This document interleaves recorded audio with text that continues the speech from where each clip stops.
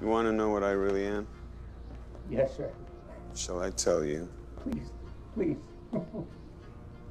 At heart, I'm an ardent student of human nature. Oh. Fascinating paradox we are. So wise, and yet so foolish, so brave, and yet so fearful.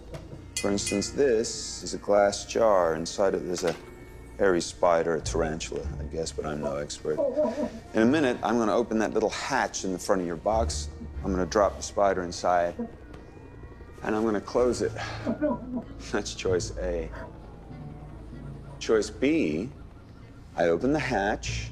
You speak to your lovely secretary, Maggie, on the telephone. You tell her you've run away with some woman you'll be sending written instructions shortly. So, which is it, choice A or choice B? Choice B, please.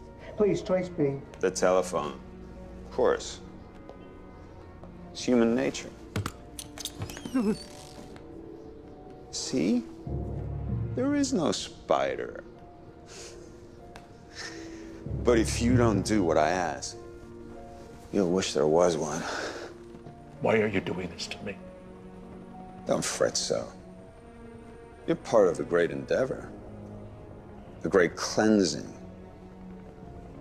Monsters are coming, Mr. Mayor.